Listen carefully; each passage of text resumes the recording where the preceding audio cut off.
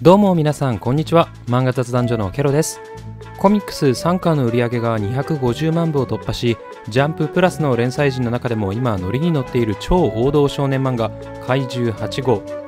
作中では32歳のおじさん主人公日々のカフカの熱さ彼が所属する防衛隊の人間模様そして何より次々と迫り来る異形の怪獣たちとの戦いに目が離せないですよね。今回はそんな怪獣8号に関する考察怪獣たちの組織についてやっていきたいと思います。なお今回の動画は単行本派の方でも楽しめる内容となっていますのでぜひ最後までご覧ください。それではやっていきましょう。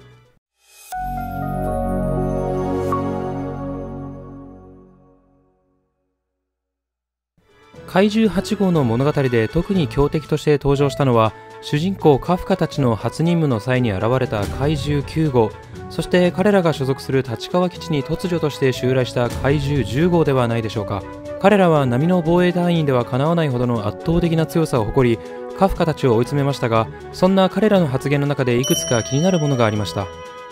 まずは初任務に現れた怪獣9号の発言。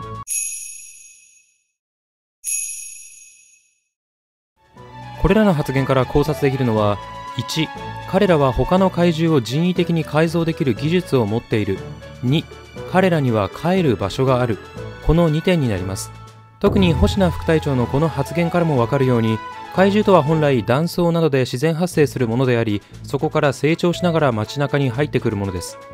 つまり本来の怪獣たちにとって帰る場所というのは存在せず雷や台風火山噴火のような自然災害と同様突然発生し人類に被害をもたらす害獣ということになります。それにもかかわらず怪獣9号は帰る場所があるかのような発言をしそこには隊員の生きたサンプルを保管できる場所があるような意味合いもありました。また初任務から2週間後カフカたちが在籍する立川基地を襲撃した怪獣10号は防衛隊隊員を見て隊員発見と口にしました。この発言も僕たち読者の目線では違和感がありませんが作中のキャラクター視点で考えると疑問が残ります。というのも怪獣10号が通常の怪獣と同じように自然発生し災害と同じように動いているのだとしたら彼はなぜ目の前にいるのが防衛隊員だと知っていたのでしょうか。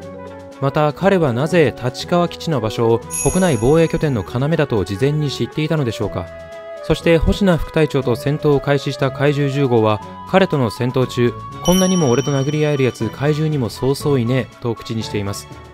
これらの情報を重ね合わせて浮かび上がってくるのは彼らには自然発生した他の怪獣たちとは異なり帰る場所組織のような場所がありそこで人間たち防衛隊に関する情報交換などを行っているのではないかということです。そもそもどういった経緯で人型の怪獣が生まれたのかも気になりますし9号10号以外にも人型の怪獣がいるのかこちらに関しても気になるところです。個人的には防衛隊の幹部たちと怪獣たちの組織の幹部クラスたちとの戦いが見られたら王道少年漫画としては最高に熱い展開だと思っています。